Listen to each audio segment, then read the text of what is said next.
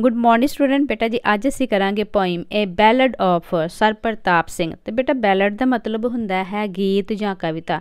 ਤੇ ਇਹ ਜਿਹੜੀ ਕਵਿਤਾ ਵਾ, ਇਹਦੇ ਵਿੱਚ ਜਾਤ ਪਾਤ ਦਾ ਮਤਲਬ ਪਰਦਾਪਾਸ਼ ਕੀਤਾ ਗਿਆ ਹੈ। ਤੇ ਜਾਤ ਪਾਤ ਨੂੰ ਕਿਹਾ ਗਿਆ ਹੈ ਕਿ ਮਨੁੱਖ ਜਨਮ ਤੋਂ ਲੈ ਕੇ ਮਤਲਬ ਜਦੋਂ ਪੈਦਾ ਹੁੰਦਾ, ਉਦੋਂ ਉਹਦੀ ਕੋਈ ਜਾਤ ਨਹੀਂ ਹੁੰਦੀ। ਇਹ ਜਾਤ ਜਿਹੜੀ ਰੱਬ ਨੇ ਨਹੀਂ ਬਣਾਈ, ਇਹ ਅਸੀਂ ਲੋਕਾਂ ਨੇ ਬਣਾਈ ਹੋਈ ਹੈ। ਤੇ ਇੱਕ ਜਿਹੜਾ ਸੱਚਾ ਸਿਪਾਹੀ ਹੈ, ਉਹ ਕਦੀ ਵੀ ਜਾਤ ਪਾਤ ਵਿੱਚ ਵਿਸ਼ਵਾਸ ਨਹੀਂ ਕਰਦਾ ਤੇ ਉਹ ਬਹਾਦਰ ਸਿਪਾਹੀ ਜਿਹੜੇ ਦੂਜੇ ਨੇ ਉਹਨਾਂ ਦੀ ਵੀ ਕਦਰ ਕਰਦਾ ਉਹਨਾਂ ਦੀ ਬਹਾਦਰੀ ਦੀ।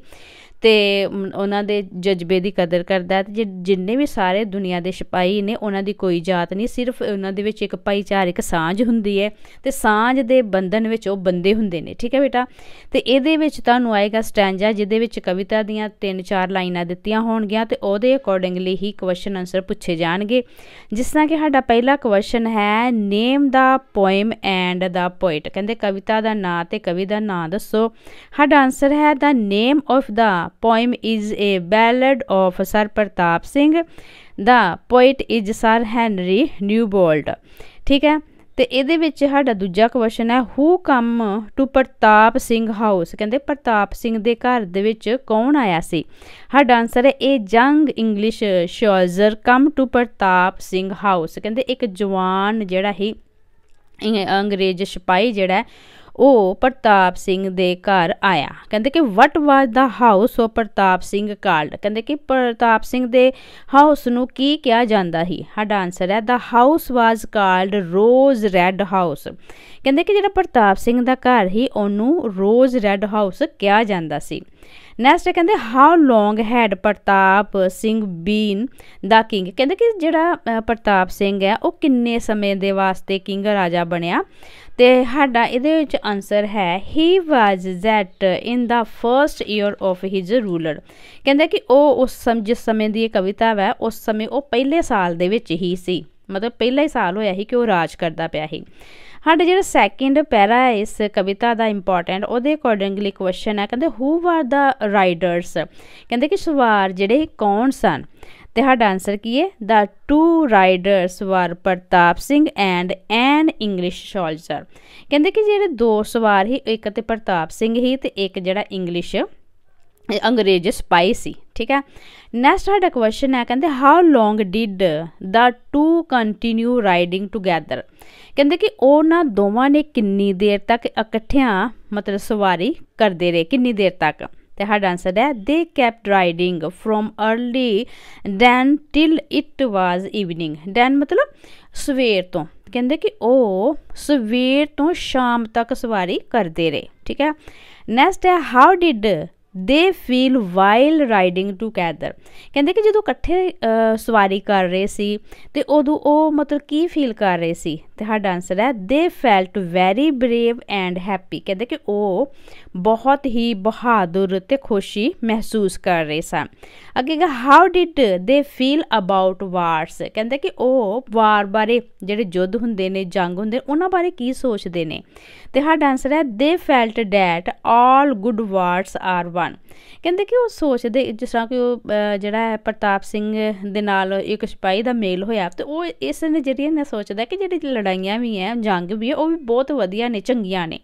ਕਿਉਂਕਿ ਉਹਦੇ ਵਿੱਚ ਇੱਕ ਸਿਪਾਹੀ ਜਿਹੜਾ ਦੂਜੇ ਸਿਪਾਹੀ ਦੀ ਫੀਲਿੰਗ ਨੂੰ, ਉਹਦੀ ਬਹਾਦਰੀ ਦੀ ਕਦਰ ਕਰਦਾ ਉਸ ਸਮੇਂ ਦੀ ਗੱਲ ਹੈ ਠੀਕ ਹੈ ਸਾਡਾ ਥਰਡ ਪੈਰਾ ਇਹਦੇ ਵਿੱਚ ਤੇ ਇਹਦਾ ਪਹਿਲਾ ਕੁਐਸਚਨ ਹੈ, ਕਹਿੰਦੇ ਹੂ ਵਾਜ ਪ੍ਰਤਾਪ ਸਿੰਘਸ ਫਰੈਂਡ ਕਹਿੰਦੇ ਪ੍ਰਤਾਪ ਸਿੰਘ ਦਾ ਜਿਹੜਾ ਦੋਸਤ ਸੀ ਕੌਣ ਸੀ? ਸਾਡਾ ਆਨਸਰ ਹੈ ਪ੍ਰਤਾਪ ਸਿੰਘਸ ਫਰੈਂਡ ਵਾਜ ਐਨ ਇੰਗਲਿਸ਼ਮੈਨ ਕਹਿੰਦੇ ਪ੍ਰਤਾਪ ਸਿੰਘ ਦਾ ਜਿਹੜਾ ਫਰੈਂਡ ਸੀ ਉਹ ਇੱਕ ਅੰਗਰੇਜ਼ ਆਦਮੀ ਆਦਮੀ ਸੀ ਫਿਰ ਕਹਿੰਦੇ what happen to Pratap's friend ਕਹਿੰਦੇ ਪ੍ਰਤਾਪ ਦੇ ਫਰੈਂਡ ਦੇ ਨਾਲ ਕੀ ਵਾਪਰਿਆ Pratap's friend died sorry Pratap said Pratap friend dead suddenly ਕਹਿੰਦੇ ਕਿ ਉਹ ਜਿਹੜਾ ਹੈ ਪ੍ਰਤਾਪ ਦਾ ਫਰੈਂਡ ਹੀ ਉਹਦੀ ਅਚਾਨਕ ਜਿਹੜੇ ਹੀ ਡਾਈ ਹੋ ਗਿਆ, ਅਚਾਨਕ ਉਹਦੀ ਮੌਤ ਹੋ ਗਈ।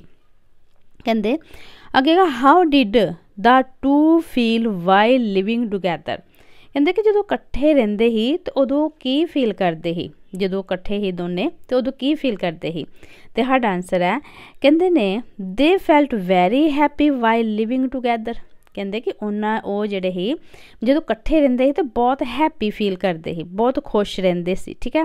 ਹੁਣ ਕਹਿੰਦੇ ਕਿ ਐਕਸਪਲੇਨ ਕਰਨਾ ਹੈ ਲਾਈਨਾਂ।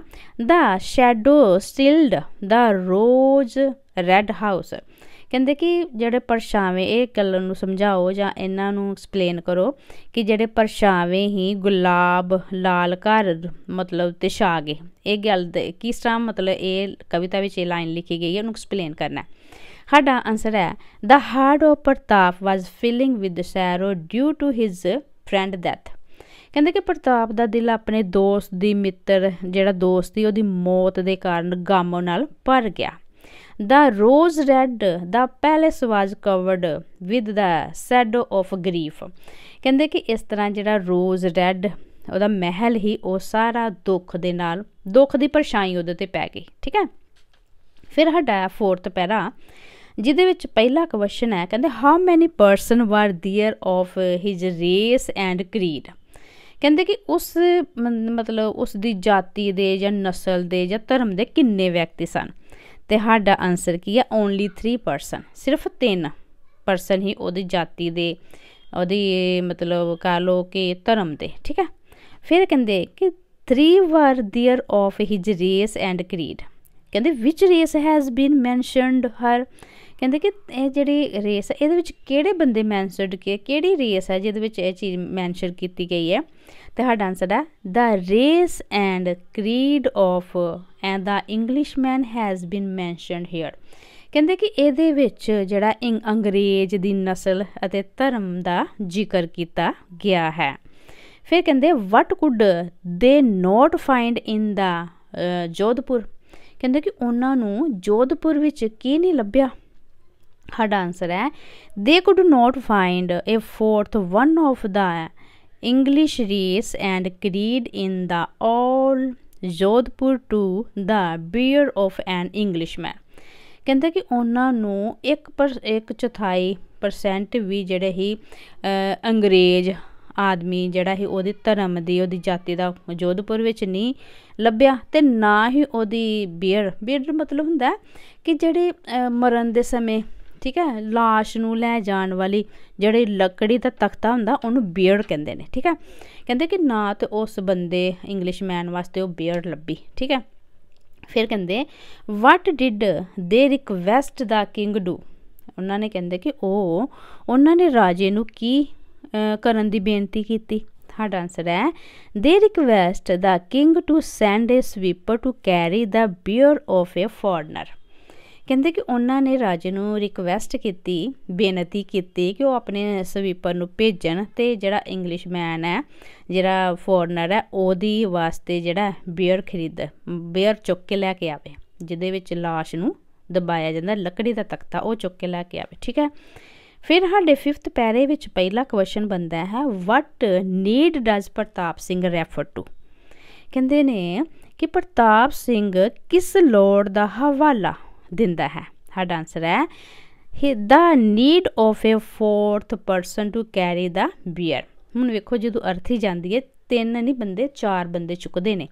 ਤੇ ਹੁਣ ਪ੍ਰਤਾਪ ਸਿੰਘ ਜਿਹੜਾ ਉਹਨੂੰ ਇਹ ਨੀਡ ਪੈਦਾ ਹੋਈ ਕਿ ਉਹਨੂੰ ਇੱਕ ਜਿਹੜੇ ਆਪਣਾ ਉਹਦਾ ਸ਼ੋਲਜਰ ਹੀ ਅੰਗਰੇਜ਼ ਉਹਦੀ ਅਰਥੀ ਨੂੰ ਚੁੱਕਣ ਵਾਸਤੇ ਇੱਕ ਹੋਰ ਬੰਦੇ ਦੀ ਜ਼ਰੂਰਤ ਪਈ। ਠੀਕ ਹੈ?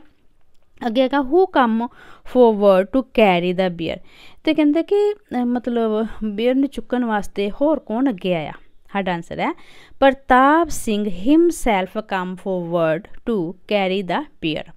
ਕਹਿੰਦੇ ਕਿ ਪ੍ਰਤਾਪ ਸਿੰਘ ਖੁਦ, ਜਿਹੜਾ ਹੀ ਉਹਦੀ ਅਰਥੀ ਨੂੰ ਚੁੱਕਣ ਵਾਸਤੇ ਆ ਗਿਆ। ਨੈਕਸਟ ਹੈ ਵਾਈ ਡਿਡ ਪ੍ਰਤਾਪ ਸਿੰਘ ਬੋ ਹਿਜ਼ ਪ੍ਰਿੰਸਲੀ ਹੈਡ ਠੀਕ ਹੈ? ਹਾਂਜੀ, ਬੋ ਹਿਜ਼ ਪ੍ਰਿੰਸਲੀ ਹੈਡ ਕਹਿੰਦੇ ਨੇ ਕਿ ਪ੍ਰਤਾਪ ਸਿੰਘ ਨੇ ਆਪਣਾ ਜਿਹੜਾ ਹੀ ਸ਼ਾਹੀ ਸਿਰ ਕਿਉਂ ਝੁਕਾ ਦਿੱਤਾ? ਠੀਕ ਹੈ? ਕਹਿੰਦੇ ਕਿ ਵਾਈ ਡਿਡ ਤੇ ਮਤਲਬ ਕਿਉਂ ਝੁਕਾ ਦਿੱਤਾ? ਹਾਊ ਹੈ ਨਾ? ਹਾਊ ਹਿਸ ਪ੍ਰਿੰਸਲੀ ਹੈਡ ਕਿਵੇਂ ਕਿਉਂ ਝੁਕਾ ਦਿੱਤਾ? ਤੇ ਇਹਦੇ ਵਿੱਚ ਸਾਡਾ ਆਨਸਰ ਆਏਗਾ because he requested his dead friend who was a true soldier ਕਹਿੰਦੇ ਕਿ ਉਹਨੇ ਉਹ ਮਤਲਬ ਜਿਹੜਾ ਮਰ ਗਿਆ ਸੀ ਉਹਦਾ ਫਰੈਂਡ ਉਹ ਇੱਕ ਸੱਚਾ ਹੈਗਾ ਸੀ ਸਿਪਾਈ ਤੇ ਕਹਿੰਦੇ ਉਹਦੇ ਸਨਮਾਨ ਦੇ ਵਿੱਚ ਰਿਸਪੈਕਟਡ ਸੌਰੀ ਰਿਸਪੈਕਟਡ ਉਹਦੇ ਸਨਮਾਨ ਦੇ ਵਿੱਚ, ਉਹਦੇ ਆਦਰ ਦੇ ਵਿੱਚ ਉਹਨੇ ਆਪਣਾ ਸਿਰ ਝੁਕਾਇਆ, ਸਰ ਪ੍ਰਤਾਪ ਸਿੰਘ ਨੇ। ਫਿਰ ਕਹਿੰਦੇ ਕਿ why did Pratap Singh say I have no caste ਕਹਿੰਦੇ ਕਿ, ਇਹ ਕਿਉਂ ਪ੍ਰਤਾਪ ਸਿੰਘ ਨੇ ਕਿਹਾ ਕਿ ਮੇਰੀ ਕੋਈ ਜਾਤ ਨਹੀਂ? ਠੀਕ ਹੈ? ਇਹਦੇ ਵਿੱਚ ਆਨਸਰ ਹੈ because he did not believe in the caste system ਕਿਉਂਕਿ ਉਸਨੇ ਇਸ ਕਰਕੇ ਕਿਹਾ, ਕਿਉਂਕਿ ਉਹਨੂੰ ਉਹ ਇਸ ਗੱਲ ਤੇ ਵਿਸ਼ਵਾਸ ਰੱਖਦਾ ਹੈ ਕਿ ਕੋਈ ਕਾਸਟ ਸਿਸਟਮ ਨਹੀਂ ਹੈ। ਉਹ ਜਾਤ ਪਾਤ ਵਿੱਚ ਵਿਸ਼ਵਾਸ ਹੀ ਨਹੀਂ ਰੱਖਦਾ, ਇਸ ਕਰਕੇ ਕਹਿੰਦਾ ਕਿ I have not caste I have no caste ਮੇਰੀ ਕੋਈ ਜਾਤ ਨਹੀਂ ਹੈ। ਫਿਰ ਸਾਡਾ 6 ਪੈਰਾ ਤੇ ਲਾਸਟ ਪੈਰਾ ਆ ਜਾਂਦਾ ਹੈ। ਕਹਿੰਦੇ name the poem and the poet ਜਿਹੜਾ ਕਿ ਅਸੀਂ ਪਹਿਲਾਂ ਕੁਐਸਚਨ ਪੜ ਚੁੱਕੇ ਹਾਂ, ਠੀਕ ਹੈ। The name of the poem is a ballad of sir Pratap Singh the poet is sir Henry Newbolt. ਫਿਰ ਹੈਗਾ, ਕਹਿੰਦੇ ਹਾਊ ਡਿਡ ਕਹਿੰਦੇ how did he feel over his loss ਕਹਿੰਦੇ ਕਿ ਜਿਹੜਾ ਉਹਨੂੰ ਨੁਕਸਾਨ ਹੋਇਆ ਉਹ ਬਾਰੇ ਕੀ ਮਹਿਸੂਸ ਕਰਦਾ ਹੈ? He felt very depressed over the loss ਕਹਿੰਦਾ ਕਿ ਉਹ ਬਹੁਤ ਹੀ ਮਤਲਬ ਉਦਾਸ ਫੀਲ ਕਰਦਾ ਜਿਹੜਾ ਉਹਨੂੰ ਨੁਕਸਾਨ ਨੁਕਸਾਨ ਕੀ ਹੋਇਆ ਸੀ? ਇੱਕ ਫੋਰਨਰ ਜਿਹੜਾ ਕਿ ਉਹਦੇ ਦੋਸਤ ਹੀ ਇੰਗਲਿਸ਼ਮੈਨ ਇੰਗਲਿਸ਼ ਸੋਲਜਰ ਉਹਦੀ ਮ੍ਰਿਤਿੂ ਹੋ ਗਈ ਸੀ ਡੈਥ ਹੋ ਗਈ next what did he decide to do ਕਹਿੰਦੇ ਉਸਨੇ ਕੀ ਕਰਨ ਦਾ ਫੈਸਲਾ ਕੀਤਾ? ਸਾਡਾ ਆਨਸਰ ਹੈ he decided to carry his friend bier himself ਕਹਿੰਦੇ ਕਿ ਉਸਨੇ ਆਪਣੇ ਦੋਸਤ ਦਾ ਬੀਅਰ ਮਤਲਬ ਲੱਕੜੀ ਜਿਹਦੇ ਵਿੱਚ লাশ ਪਾਈ ਦੀ ਹੀ ਸ਼ੋਲਜਰ ਦੀ ਇੰਗਲਿਸ਼ਮੈਨ ਦੀ ਇੰਗਲਿਸ਼ ਪਾਈ ਦੀ, ਤੇ ਉਹ ਆਪ ਚੁੱਕਣ ਦਾ ਫੈਸਲਾ ਕੀਤਾ। ਫਿਰ ਕਹਿੰਦੇ ਕਿ what did Pratap Singh say he had lost Pratap Singh ਨੇ ਕੀ ਕਿਹਾ ਕਿ ਉਹ ਕੀ ਗਵਾ ਚੁੱਕਾ ਮਤਲਬ ਕਿਹੜੀ ਚੀਜ਼ ਉਹ ਗਵਾ ਚੁੱਕਾ ਹੈ ਸਾਡਾ ਆਨਸਰ ਹੈ he said he had lost a very dear friend and true soldier ਕਹਿੰਦੇ ਕਿ ਉਹਨੇ ਕਿਹਾ ਕਿ ਉਹ ਇੱਕ ਬਹੁਤ ਹੀ ਪਿਆਰਾ ਤੇ ਇੱਕ ਬਹੁਤ ਹੀ ਸੱਚਾ ਸਿਪਾਹੀ ਗਵਾ ਚੁੱਕਾ ਹੈ, ਕਿਉਂਕਿ ਜਿਹੜਾ ਇੰਗਲਿਸ਼ਮੈਨ ਹੀ ਜਿਹੜਾ ਇੰਗਲਿਸ਼ ਸੋਲਜਰ ਹੀ ਸਿਪਾਹੀ ਹੀ ਅੰਗਰੇਜ਼, ਉਹਦੀ ਡੈਥ ਹੋ ਗਈ ਠੀਕ ਹੈ ਬੇਟਾ? ਇਸ ਤਰ੍ਹਾਂ ਸਾਡੀ ਇਹ ਪੋਇਮ ਹੋ ਗਈ ਹੈ ਤੇ ਇਹਨੂੰ ਅੱਛੀ ਤਰ੍ਹਾਂ ਕਰ ਲੈਣਾ, ਕਿਉਂਕਿ ਇਸੇ ਟਾਈਪ ਦੇ ਕੁਐਸਚਨ ਆਨਸਰ ਤੁਹਾਨੂੰ ਐਗਜ਼ਾਮ ਵਿੱਚ ਆਉਣੇ ਨੇ। ਨੈਕਸਟ ਵੀਡੀਓ ਵਿੱਚ ਅਸੀਂ ਅਗਲਾ ਲੈਸਨ ਕਰਾਂਗੇ। ਤਦ ਤੱਕ ਤੁਸੀਂ ਇਹਨਾਂ ਨੂੰ ਧਿਆਨ ਨਾਲ ਪੜ੍ਹ ਲਓ। ਮਿਲਦੇ ਆ ਨੈਕਸਟ ਵੀਡੀਓ 'ਚ ਟੇਕ ਕੇਅਰ